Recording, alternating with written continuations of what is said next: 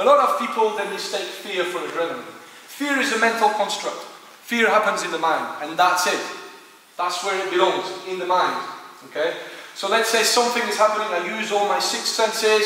Let's say I'm walking in the corridor of a, of a building, and all of a sudden I can smell the smell of burn. That's my first alarm. I'm looking around, shit, I see smoke coming from under that door.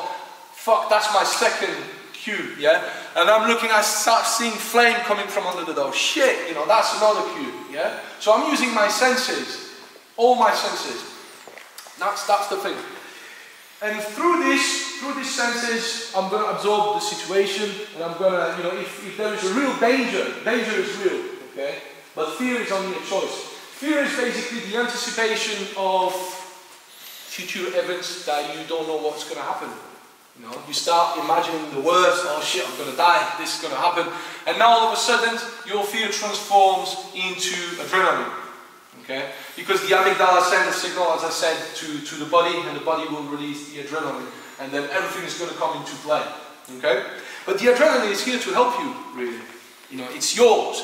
It's, you know, it's made inside your body, it's yours. You know, and people need to understand that.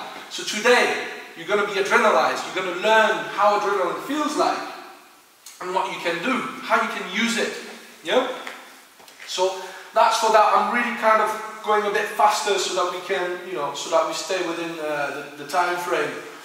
What I'm going to speak about now is the self-protection game plan, okay, which is situational awareness. So as I said to you, situational awareness is basically developing good observational skills.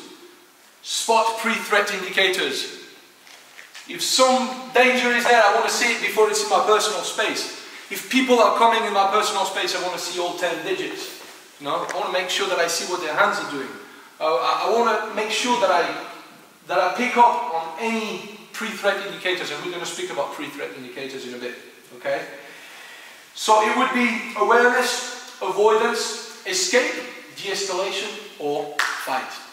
Okay, so if I have an opportunity to see things first, then I will find a way to avoid, completely avoid. That's the best form of self-protection. I've seen it first, I've seen these guys are looking for trouble, and I've seen them even before they saw me, and I fucking went there, and they didn't even see me. I've avoided the situation completely. Best form of self-protection. I don't have to fight, they don't have to fight, everybody's happy. Yeah?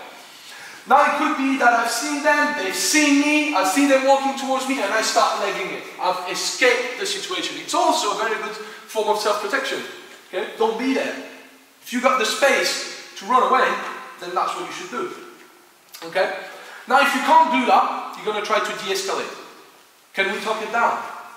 Can we find a, you know, common ground? Can we use partial compliancy, applied psychology, whatever it takes to not having to require to the use of force. Yeah? If that doesn't if that doesn't work, then you have to fight. And you have to fight first. You know, it's always better to be preemptive. Fucking hit him first before he hits you. Because if you wait for a confirmation, very often the confirmation is going to come in form of an attack. You get knocked down, that's it, game over. If your family is with you, think about your family as well. Some people are not ready to fight for themselves, but they're ready to fight for their family. Find what it is that you love the most and imagine this is about to be taken away from you. What are you ready to do then? Yeah? So if you have difficulties to, to, to gather your strength and to access that antisocial animal, that's what you want to do. Okay? Now, so this is this is for the self-protection game plan. Now there are two different types of people that you could be dealing with. You could be dealing with a sociopath, or you could be dealing with a psychopath. Now everybody thinks that psychopathic people are, you know, like in the movie, that who've seen the American Psycho? Yeah? You know, that is one psychopath, yeah? But they're not all like that. You know that, I think that one in five people are actually got psychopathic tendencies. They think different. Their brain is wired different. They don't react the same to pain. They're not, yeah, no, I think it's wild. Not me, I was thinking about the ex-partners actually. Alright. right. So, Sociopath is basically a good guy having a bad day. You know, you're in the pub, oh, you're joking with your little girl at the table there, you're not looking where you're going, boom, you're bumping into that guy, he's got his drink, you just spill all his drink all over, and he's like, fuck, look where you're going, you know, he starts going off, he's not. You know, Maybe he has a bad day. Maybe if, if he's a sociopath, he's a good guy having a bad day, you say, sorry mate, I'm really sorry mate, I didn't see you man. Listen, let me buy you, let, let me buy you some drinks, you know. Nine times out of ten, he's gonna say, yeah, it's fine, it's alright, you know what I mean? Because you, you de-escalated the situation, yeah.